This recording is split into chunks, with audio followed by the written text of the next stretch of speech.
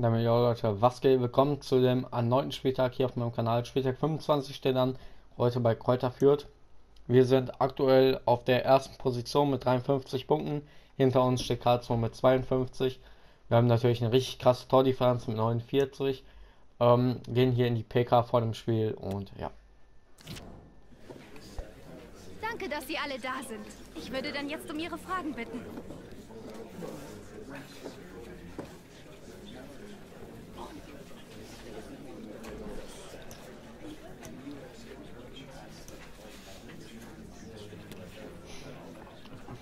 Wir gehen professionell an die nächste Partie. Letztes Spiel haben wir gewonnen. Drei Punkte sind drei Punkte. Im Hinspiel haben wir 6-0 gewonnen. Wer einmal gewinnt, kann noch ein zweites Mal gewinnen. So sieht's aus.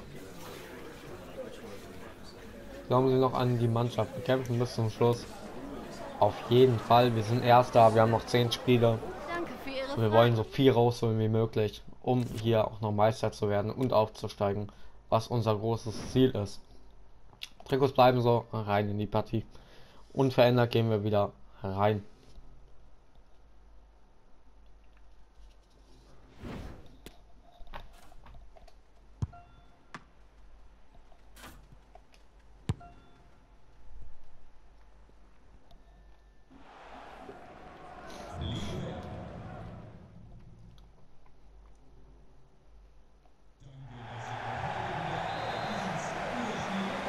Auf geht's.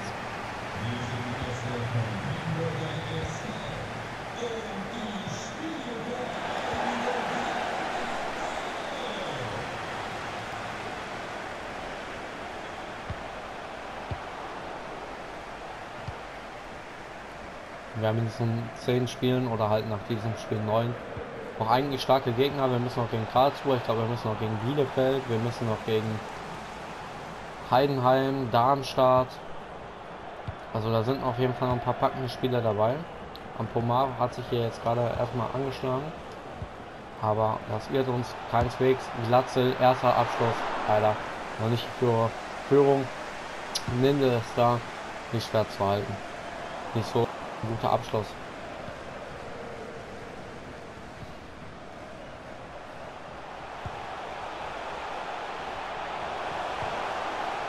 Mitte offen.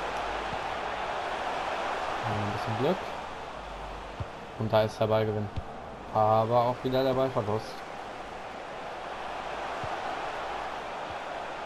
Sehr stark dazwischen gegangen. War ja Fernandes. Dann zur Stelle. Und Jetzt mal über Kleindienst. Der hat Platz. Zu viel Platz anscheinend. Weil da spielt er dann nicht ab.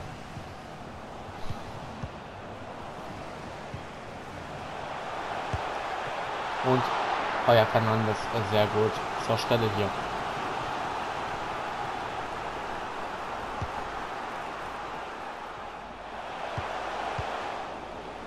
David klärt erstmal raus aus dem 16er. Und Haya den zweiten Ball. Und jetzt vielleicht mal über Jatta und Konter starten. Auf Kleindienst. 3 gegen 1. Glatzel rückt nach. Aber so weit kommt der Ball mal wieder nicht. Aber wir bleiben dran. Wieder auf Glatzel, wieder der Ballverlust. Und wieder Benesch. Er holt sich da im Mittelfeld wieder die Bälle ab. Abseits. Hier gibt Freistoß für Kräuter Fürth.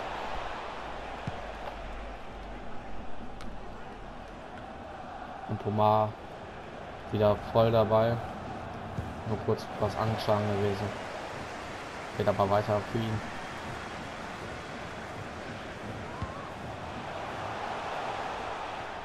Der war jetzt erstmal weg.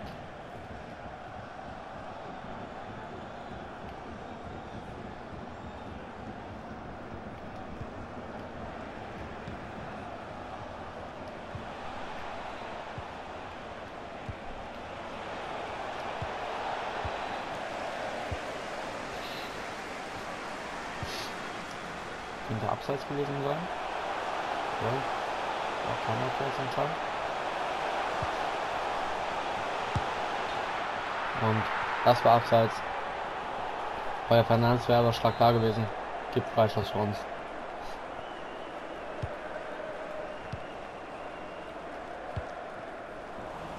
Hier erstmal Fehlpass. Muheim.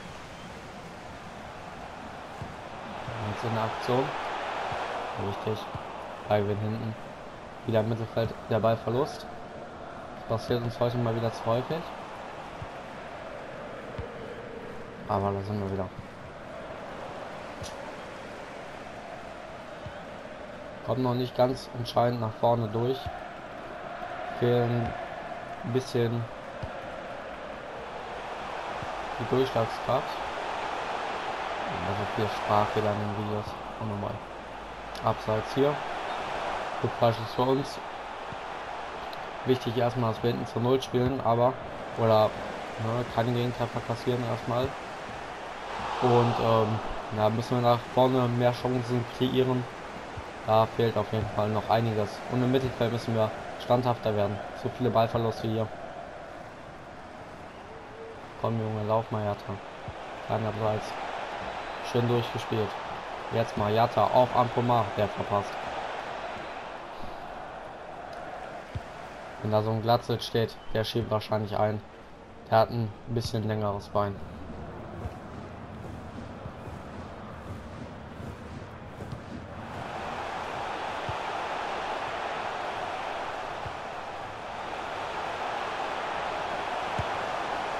Und da verziehen sie erstmal Abschluss für uns. Ist auf jeden Fall ein Hin und Her. Unentschieden bisher verdient. Für beide Teams. Gululu sicher dazwischen gestellt. Und jetzt nochmal lang auf Gatter. Das war mal ein super Laufweg. Kein Abnehmer dabei. Und dann auch noch schlechter Pass.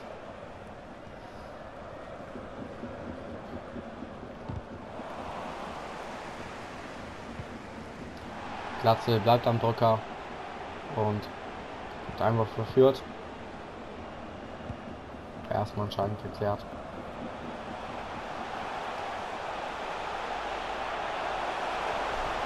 Ulibu zur Stelle. Gibt Eckball. Sehr gut geklärt. Sehr fair.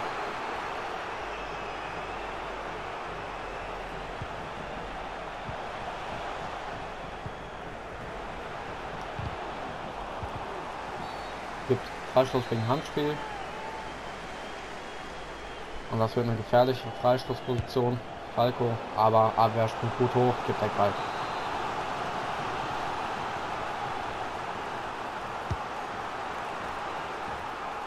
Herzl gewinnt hier das Kopfballduell. Kommen aber erstmal nicht raus. War jetzt vielleicht mal nochmal Ballverlust. Wieder mal in die Mitte. Steht alles frei. Und der Abschluss Außennetz. Gibt nochmal Abschluss. Zwei Minuten der Feinde.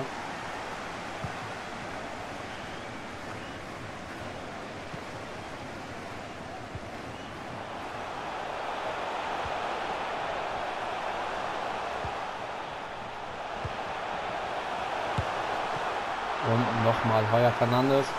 Wir sind in der letzten Sekunde. Wenn wir den Ball klären, geht es hier mit 0 zu 0 in die Halbzeitpause. So sieht's aus. 0 zu 0 Halbzeit hier bei Kräuter Fürth.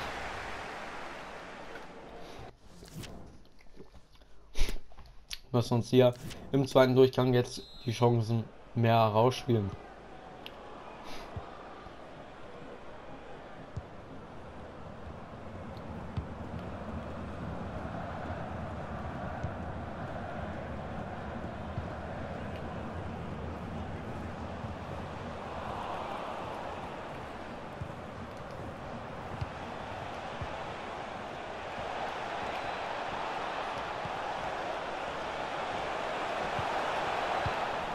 Alle, wir kommen auf jeden Fall. Guter Vorstoß hier schon mal. Bleiben jetzt am Drücker.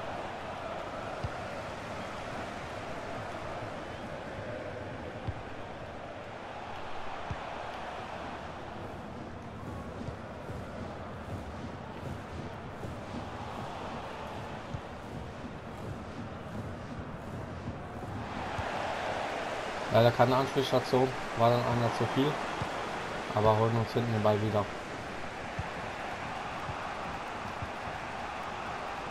bisschen zu wenig Druck. Aber Ampomar gewinnt hier den Zweikampf. Sehr, sehr wichtig. Ampomar bleibt nicht cool. Oder bleibt cool, aber Linde ist zur Stelle.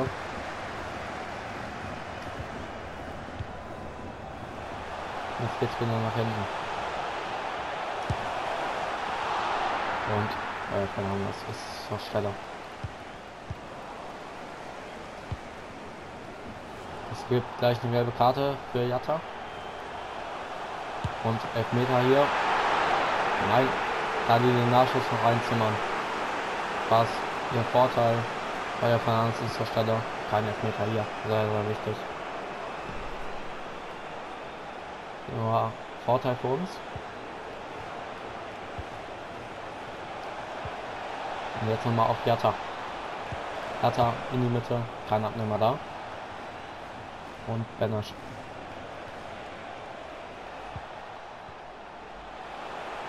Und Muhan mal mit dem Vorschuss, mit der Flanke auf Benesch und da steht es 1 zu 0 für uns durch Lasso Benesch. Super eingelaufen, super Flanke von Muheim. Und da holen wir uns hier das, naja, unverdiente würde ich jetzt mal sagen, 1-0, aber das spielt am Ende keine Rolle. Weitgehend ja ausgeglichener Spiel, meiner Meinung nach.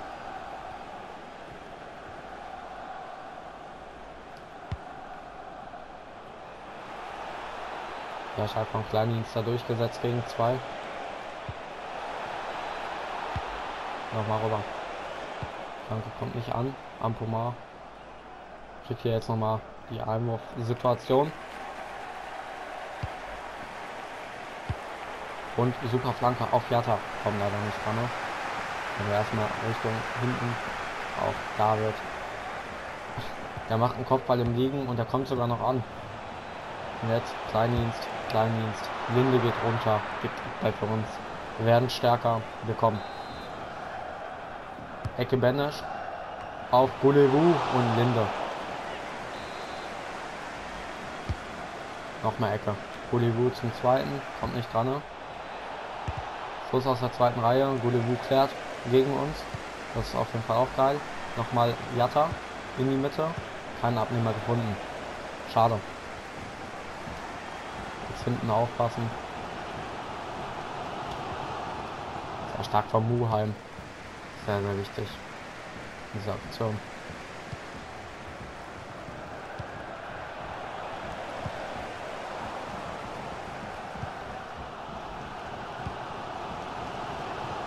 Stark durchgesetzt. Glatzel, Glatzel ins Lange und Linde ist wieder unten. Wir werden wechseln. Und bringen mal Frampomar, Kittel und äh, rechts Königsdörfer. Auf geht's. Dennis, komm Junge, du kannst die Dinger. Auf Glatze. Passt. Viertel ist da und Linde.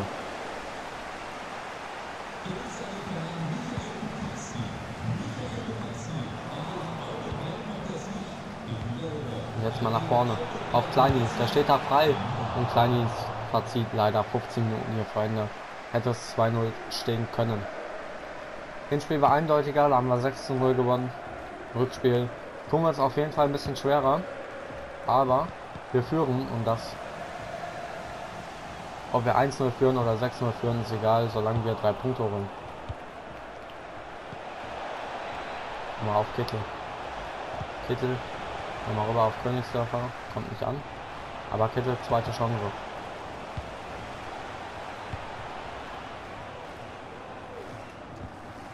Sehr wichtig von Muheim. Im letzten Moment geht er dazwischen. Gelb vorbelastet, aber zeigt Eier, Junge. Jetzt nochmal rüber. Da ist Benesch. Da ist der Doppelpack und da ist das 2-0. Das ist der Sieg. 80. Minute hier. Lazi Benesch.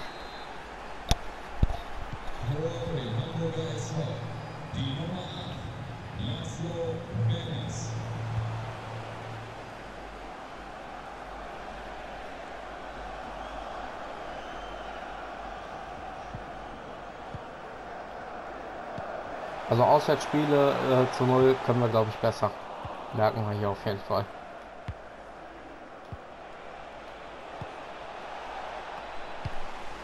Erinnere mich so ein bisschen an das Braunschweig-Spiel zu Hause. Da haben wir auch 2-0 gewonnen. Und äh, auch sehr gute Chancen von Braunschweig gewesen, aber immer irgendwie den Ball noch geklärt bekommen. Das Spiel gibt mir auf jeden Fall Flashbacks.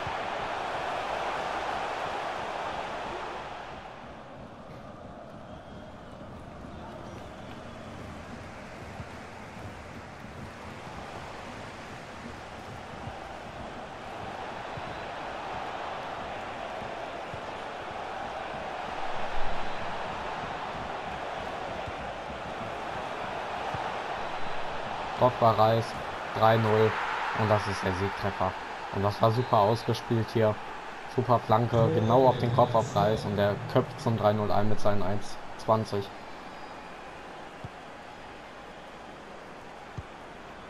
Das Mittelfeld macht es heute.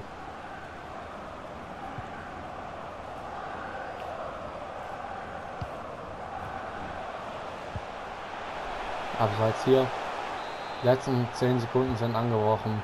Nochmal auf Feuer Fernandes. Auch nochmal lang und weit. Und das ist der 13-0 Sieg bei Kräuter Fürth. Und damit bleiben wir Tabellenführer.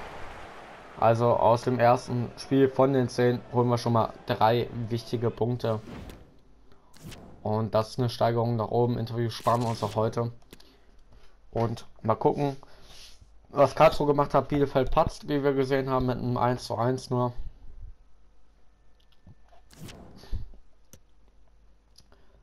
Und die Tabelle sieht wie folgt aus.